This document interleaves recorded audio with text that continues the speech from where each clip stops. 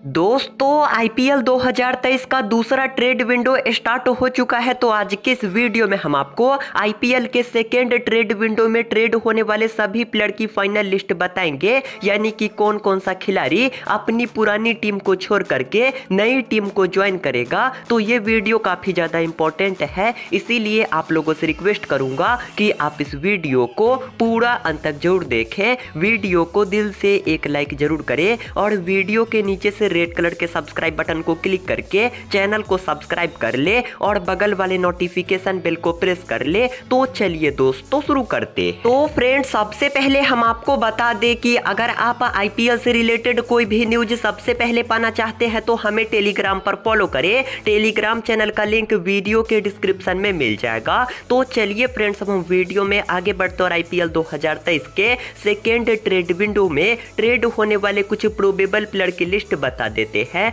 तो इस लिस्ट में पहला बड़ा नाम आता है गुजरात टाइटंस के स्पिनर, यानी कि आर साई किशोर का। और आर साई किशोर को चेन्नई सुपर किंग्स की टीम की तरफ़ से ट्रेड का प्रपोजल मिला, जहाँ पर चेन्नई की टीम आर साई किशोर को अपने स्क्वाड में शामिल करने का पूरा प्रयास कर रही है, क्योंकि चेपॉक के टर्निंग ट्रैक पर ये स्पिन गेंदबाज काफ़ी घातक साबित हो सकता है। तो इस वजह से चेन्नई की टीम ने साई किशोर को ट्रेड का प्रपोजल भेज दिया। हालाँकि इसके ऊपर अभी तक गुजरात टाइटंस की टीम ने कोई भी रिएक्शन नहीं दिया। इसके बाद इस लिस्ट के दूसरे बड़े प्लेयर है राहुल तेवटिया और ये खिलाड़ी भी गुजरात टाइटंस का प्लेयर है और इस खिलाड़ी को इनकी पुरानी टीम यानी कि राजस्थान रॉयल्स की टीम ने ट्रेड का प्रपोजल दिया। लेकिन अभी तक राहुल तेवटिया को गुजरात टाइटंस की टीम ने ट्रेड करने से बिल्कुल ही मना कर दिया, क्योंकि तेवटिया अभी तक गुजरात को काफ़ी सारे मैच अकेले दम पर जिता चुके हैं। तो इस वजह से गुजरात की टीम तेवटिया को ट्रेड करने से मना कर गई वहीं इस लिस्ट के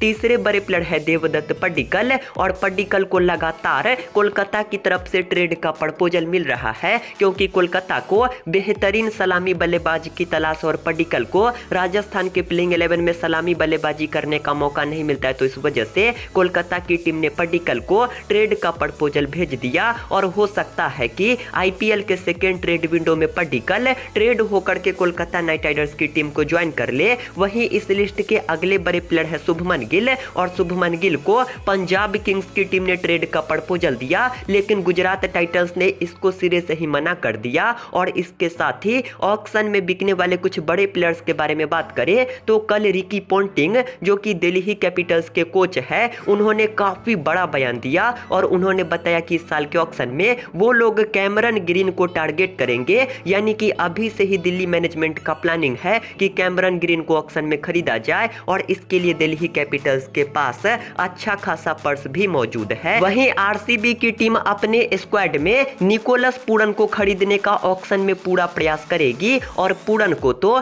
गुजरात और दिल्ली की टीम भी टारगेट करेगी। तो ये था आईपीएल 2023 के ऑक्शन से पहले ट्रेड होने वाले कुछ बड़े प्लेयर की लिस्ट और टारगेट होने वाले खिलाड़ियों की लिस्ट।